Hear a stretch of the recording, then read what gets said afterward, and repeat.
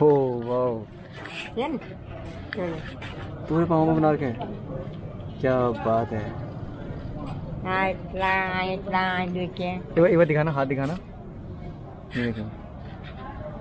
हो हो। वाओ. तो गुड मॉर्निंग सो गाइज़ आज डेट है थर्ड मई 2022 और प्रीवियस वीडियो मैंने आपको दिखाया था मैं कहाँ पे रुकने वाला हूँ आज। अगर आपने नहीं देखी तो आप देखिए सो ये है वो जगह पे मैं सोया वाले का। रात को और जो ऊपर हाईवे है। ये नेशनल हाईवे जो अहमदाबाद से राजकोट तक का हाईवे है। और फ़िलहाल सुबह के साढ़े छः बज गए और अभी मुझे उठना है यहाँ से। मैं उठता हूँ फिर निकलता हूँ राजकोट के लिए। तो राजकोट तो मैं पूरा नहीं पहुँच पाऊँगा, यहाँ से 90 किलोमीटर्स तक मैं पहुँचने की कोशिश करूँगा। फिर 90 किलोमीटर्स के बाद मैं कल राजकोट पहुँच जाऊँगा इजीली चलिए। चलते हैं ये वो लोकेशन यहाँ पे मैं सोया था। और ऐसा नहीं कि प्लेन है।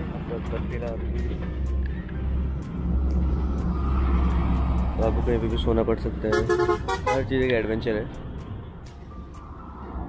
चलो फटाफट से चलते हैं अपनी लोकेशन की तरफ़। हाँ। ये मेरा बेड है। यहाँ पे मैं सोया था। ऊपर हाईवे देखो।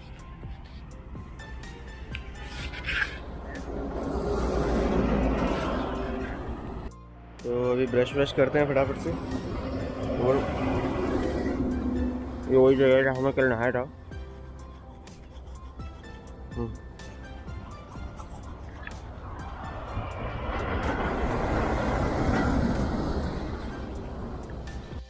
तो हाथ में मैंने धो लिया यार। अब करते हैं नाश्ता वास्ता।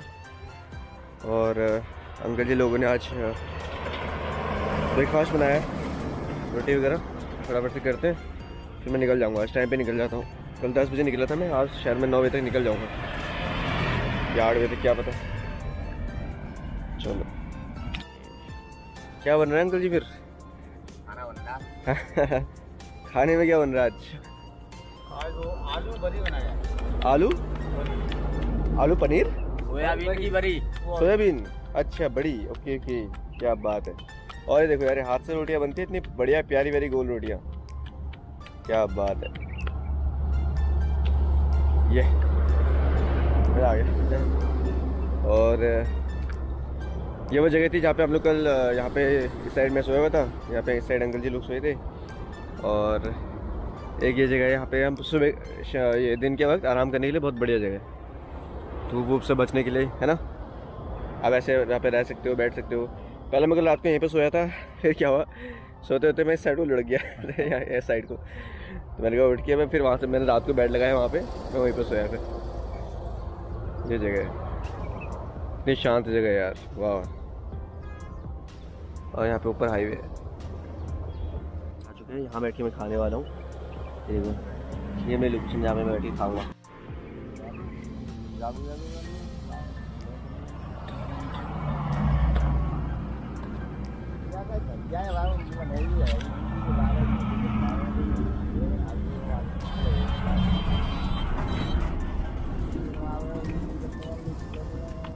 ये तो भैया के कहने पे हमने वीडियो दोबारा स्टार्ट कर दी है।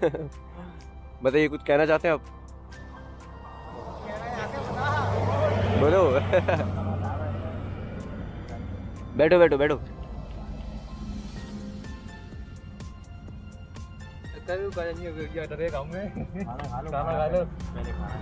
खाना खा लो उसके बाद करते हैं। कोई दिक्कत नहीं है खाना भी चलते रहेगा साथ में।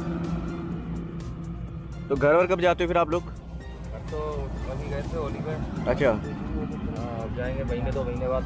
अच्छा अरे शीशा दिखाओ दे यार। ये सही है अरे ट्रक का शीशा। ये बढ़िया देखो। तो शीशा वीशा सब लगा हुआ है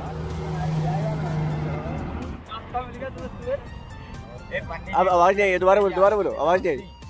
अभी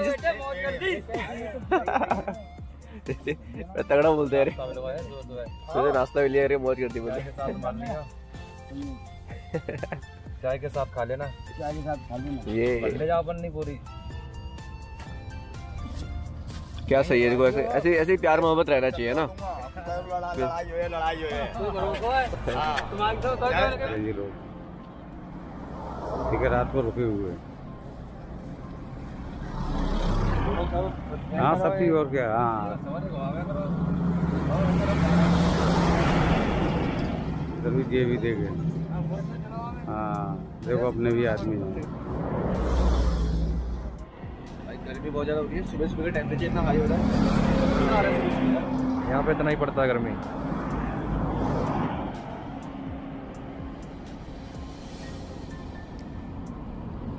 धूप से बचने के लिए। हाँ।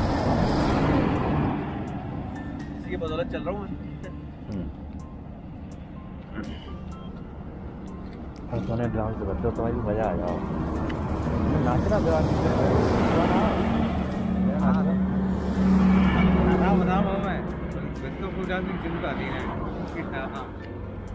नशा में। ना सुद्धा नाचते ना।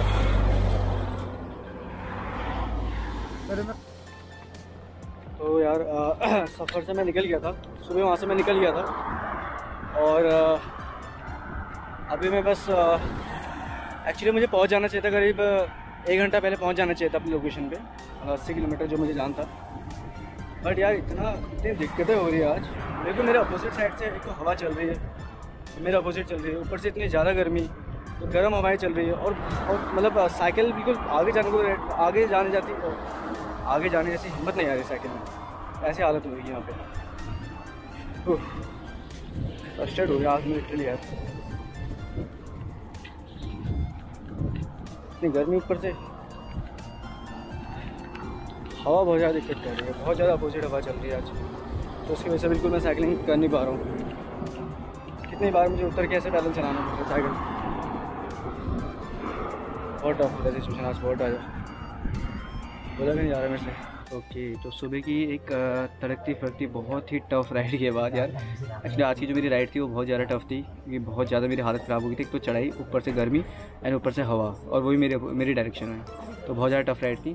तो अभी मैं बस चोटीला पहुँच गया हूँ, और एक नवग्रह यहाँ पे मंदिर है, और उसी पे मैं ठहरा हुआ हूँ। हमारे कोई भीम भैया हैं, उनके थ्रू मुझे एक चांस मिला था यहाँ पे रहने का, और विवेक भैया से उनका कांटेक्ट हुआ था तो उनके थ्रू मैं यहाँ पे रुका हूँ। तो उससे पहले अभी मैं रात को बैठा हुआ था तो मैंने एक चीज़ नोटिस की। हमारे दादी जी बैठे हैं। तो दादी जी ने हाथ में एक्चुअली टैटू बना रखे हाथ में गले में, हर जगह, क्या बात है। तो दादी जी के से मैं पूछ रहा था कि कब तक आपने मतलब कितना टाइम हो चुका है टैटू बनाए हुए? तो मुझे तो गुजराती आती नहीं है दादी जी को हिंदी नहीं आती है। तो फिर मतलब जो यहाँ पे बच्चा है, इसने ट्रांसलेट करके बताया कि बचपन से आपने बना रखा है ना? बचपन से बनाया ना?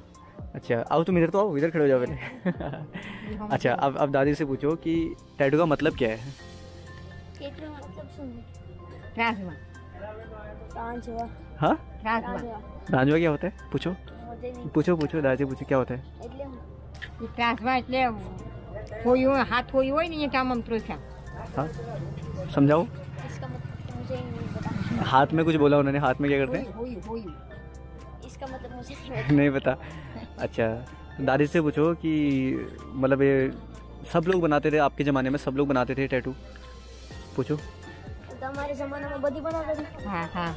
सब लोग बनाते थे। तो रि, रिवाज होता था ये पूछो? हाँ, रिवाज, होता था अच्छा वाह आप तो फ़ैशन हो गया दादी दादी को आप तो फ़ैशन हो गया तो है। आप, आप हाँ। तो स्टाइल हो गया बोले। वाह यार क्या बात है। और गले में भी बना के दादी है। बहुत दर्द नहीं हुआ गले में बनाते हुए? हाँ? सूजन आ जाती। थी मोटा हो जाता था हाथ। ओके बाप ये पूरे शरीर में बनाए पूछो तो। हाँ आखा पगू में हो वाओ।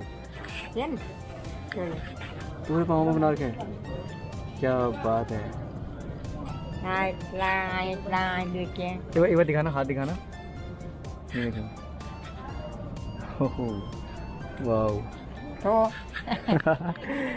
क्या बात है। और ये ये प्रथम कोई ने है? आप तो हिम्मत भी नहीं है बनाने की बोलो। आप तो दर्द सहन नहीं कर सकता कोई बोलो। क्या तो कोई ना ना हाँ उस जमाने के लोग बड़े मज़बूत होते थे बोलो।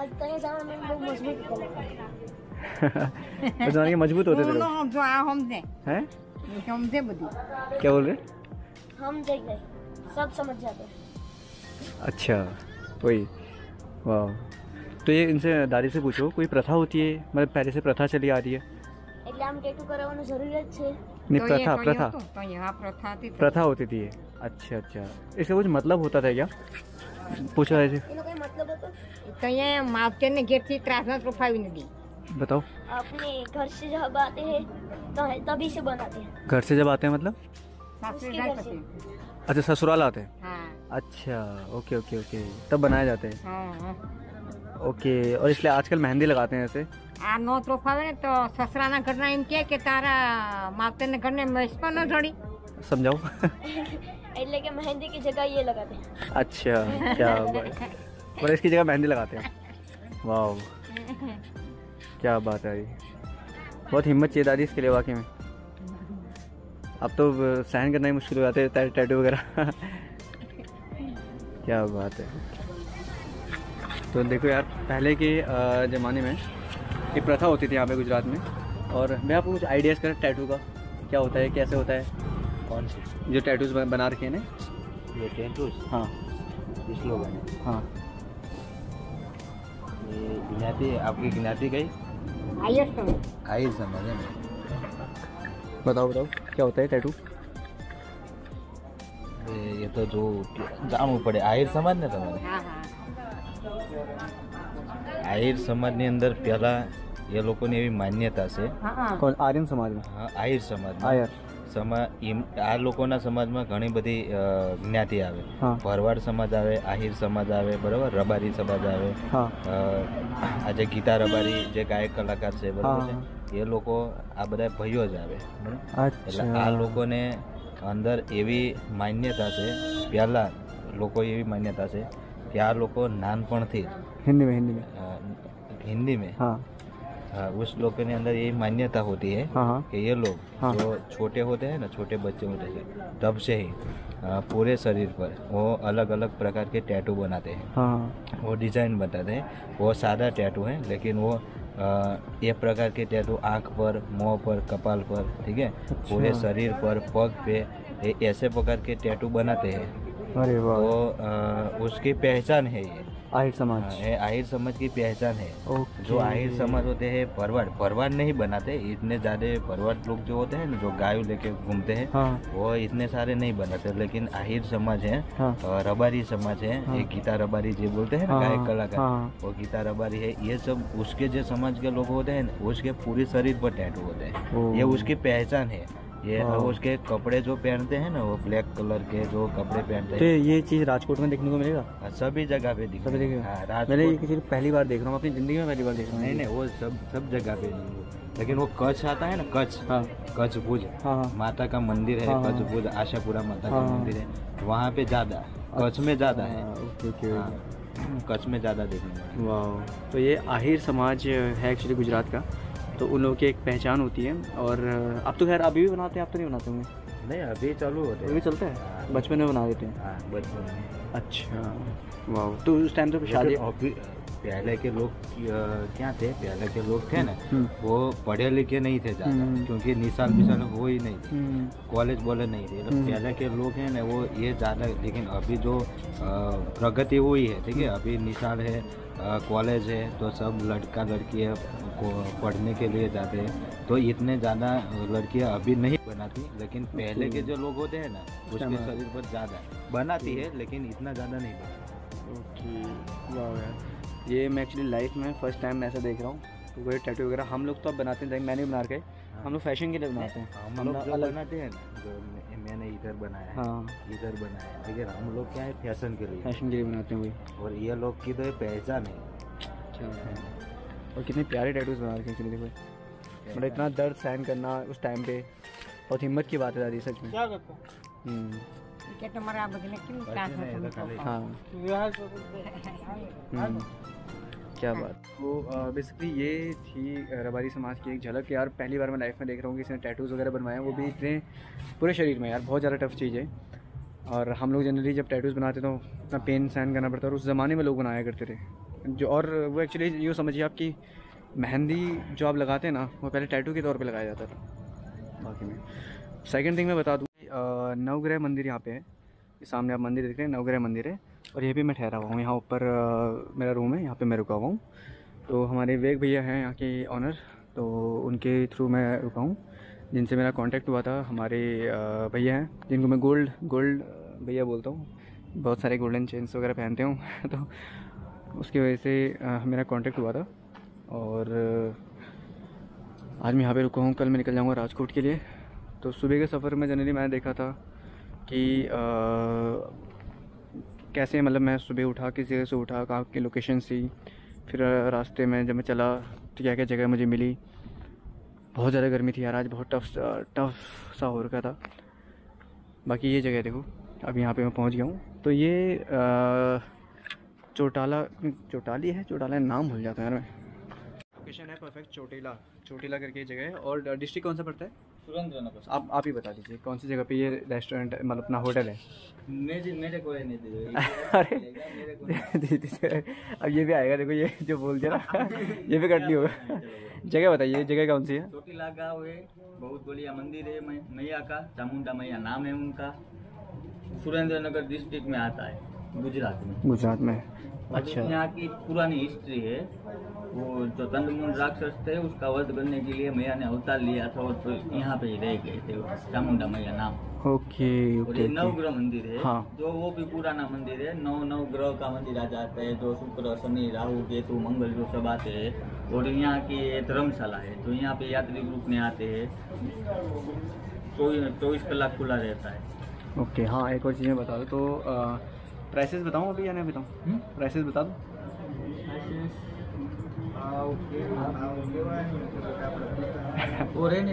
है ना? ठीक है तो मैं आपको इतना बता देता हूँ कि यहाँ पे आपको A C rooms non A C rooms मिल सकते हैं। Two bed four bed and six नहीं सिक्स नहीं थ्री बेड ओके और साइड बाई साइड आप हॉल भी यहाँ पे आपको मिल सकते हैं। अगर आप को लग रहा है कि रूम्स एक्सपेंसिव हैं तो आप हॉल्स पे रह सकते हैं, वहाँ पे आपको बहुत कम चार्ज देना पड़ेगा। तो ऐसा जनरली है प्राइसेस आपको यहाँ के ढूंढ के पता करना पड़ेगा। चलिए तो बड़ा अच्छा लगा मेरे लोगों से बात करके, और इसी के साथ वीडियो की एंडिंग करते हैं। सुबह से शाम तक की जो जर्नी रही, बहुत ही ज़बरदस्त जर्नी थी, और टेम्परेचर बहुत सहन करना पड़ा आज यार। आज की राइड मेरे लिए बहुत टफ राइड थी एक्चुअली बिकॉज़ मुझे चढ़ाई चढ़नी थी एंड सेकंड थिंग हवा मेरे डायरेक्शन में चल रही थी तो राइड बहुत ज़्यादा टफ थी। और सुबह मैं निकलूँगा राजकोट के लिए। राजकोट में हमारे एक फ्रेंड हमें मिलेंगे तो मैं उनसे इंट्रोड्यूस वहीं पर करवाऊँगा। और इसी के साथ वीडियो की एंडिंग करते हैं। आप लोग अपना ख्याल रखो। Take care